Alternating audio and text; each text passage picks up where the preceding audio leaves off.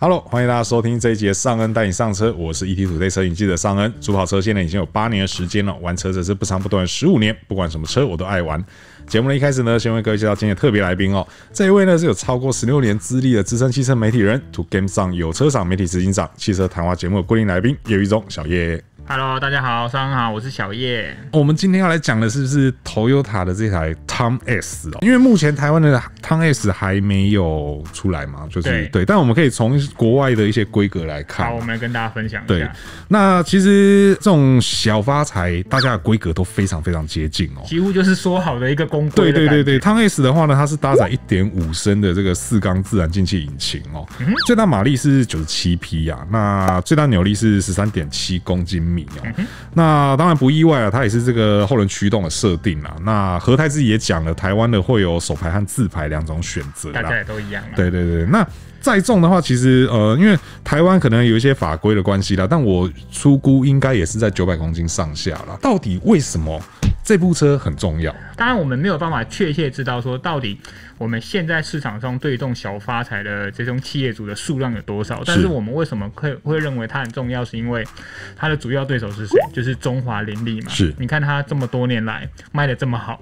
不管有没有疫情，不管有没有任何的负面的，整个社会有没有什么一些负面的消息，或是或是经济状况什么这一些，它就一直卖这么好。对，而且现在随着这几年的疫情的关系，那又再加上呃物流，因为这种它算是比较呃物流的最后一里路嘛。现在大家的电商都需要把。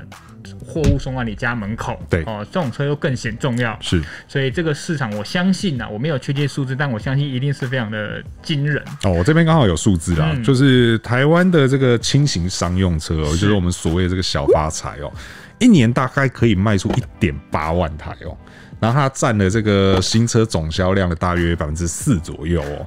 对，那因为你刚刚也提到这个最大对手嘛，我们就来讲讲。我刚刚说一年卖一点八万台嘛，对不对？对，大家猜猜看，中华林立这个 Very Car 一年是卖多少台？这数字是很吓人的。他在二零二零年的时候，一年是卖出一万六千三百六十七台哦，也就等于是这个市场对，这是股票旁移哦。所以其实你也就不难理解为什么 Toyota 想要切入这个市场。但我很好奇，是会不会有可能汤 S 加入之后，其实它不止一万八千台，有可能会往上，也是有机会啦。但是最起码，最起码，如果我是我是就是和泰的决策者的话，我会有一种想法啦，就是。这一点八万台至少要拿一半下来，对不对？不然，哎，大张旗鼓把这个车子弄进来，那我们就来看一下，就是到底它的这个强劲对手，几乎市场吃掉九成的这个 Very Car，又是怎么样？对，那其实我觉得从 Very Car 我们也大概可以推得出，就是唐 S 到时候要怎么操作。对对，首先是价格嘛，嗯哼，价格的话，Very Car 是四七点七万到五十三点二万哦。对，那这边要讲一下是说。Very Car 它其实有非常非常多不同的车型，超多的，而且它的规格数据不像我们一般商车，它就是很奇怪的数字跟英文字母，对对对对，或者是说什么铁床啊、木床啊，然后刻字化香车啊什么的，没真的是另外一个世界。对对对对那反正它的价格区间大概是抓在这里了，没错。我觉得从这一点大概也看得出来，汤 S 它到时候可能必须要提供非常多的车型选择。嗯哼，对，因为呃，可能。一般人买买车就像刚刚小叶讲的，就是哦，我们可能就选个什么型、什么型之类就好。可是这种商用车，它更多时候它会需要所谓的刻字化，它可能需要后斗的这种，比如说你要冷冻的，对，你要开放式的木床的、铁床的，对，然后你可能还要加个油油压尾门什么之类的。对，其实 Very Car 也很清楚啦，就是汤 S 年底就要来了，所以其实他在今年七月的时候有做一个小小升级的动作，他就是推出了这个有的车型安全升级，对，就是这种安全辅助的科技哦。而且最有趣的是，旧车也可以去加装。对我记得好像两万块的样子。对，那在它这个 ADAS 里面呢，它就提供了这个前方碰撞警示、行人碰撞警示、车道偏移警示、车距监测警示、前车启动警示，然后还有这个虚拟保险杆这种六个预警功能哦。那其实这种东西它可能。说真的它应该就是透过一些外挂的雷达或者是感测器，对对对，因为你看它这些东西，它都是说警示而已，对，对，它并没有主动介入，对，它并不会介入，对啊，但是就是还是那句老话嘛，有有总比没有好嘛。对对，那他就有这些东西提供大家去做选择哦。那同时他在上一次改款的时候，这很重要，因为他在上一次改款的时候导入了自排车型。没错，我也是那个时候第一次试过这台车。对对对对，其实我以前就还蛮常开这种车的。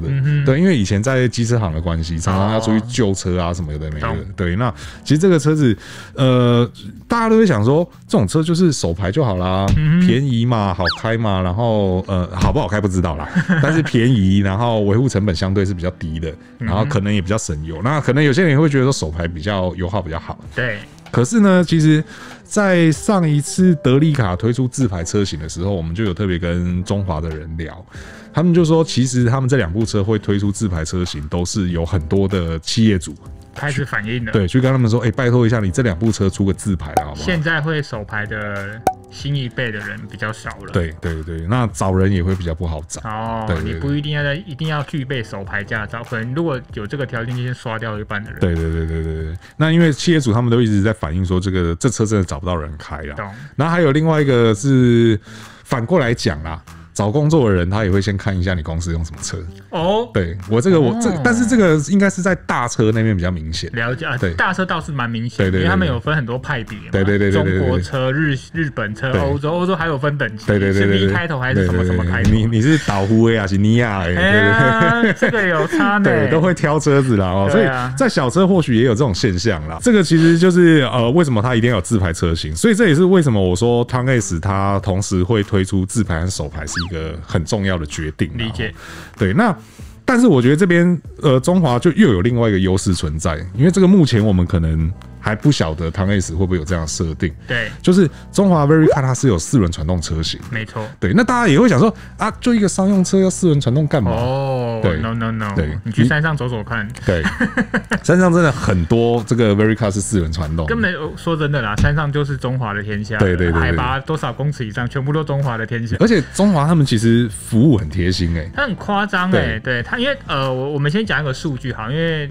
应该是目前是全台湾，他们是保修据点最多的吧？对，我记得数字是一百二十五个，是对啊，遍布全台湾。那这个对于商用车来说真的很重要，对，因为你到哪边都有地方可以修，那而且他们又扎根台湾市场这么久，所以相关的零件呐，整个后勤的通路，我觉得应该是中华目前最大的优势。那和泰有没有办法在我们不要说超过了，那但是至少能跟他。